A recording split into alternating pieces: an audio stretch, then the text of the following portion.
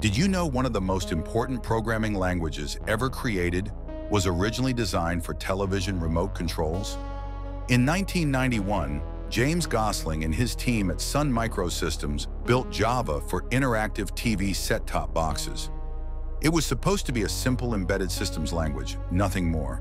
But then the interactive television market completely collapsed. Java had no purpose. Sun executives were ready to kill the project entirely, until the World Wide Web exploded and Gosling realized something incredible. Java's write once, run anywhere design could solve the internet's biggest nightmare, cross-platform compatibility. When Netscape embedded Java in their browser, everything changed. Suddenly, businesses could build applications that worked everywhere.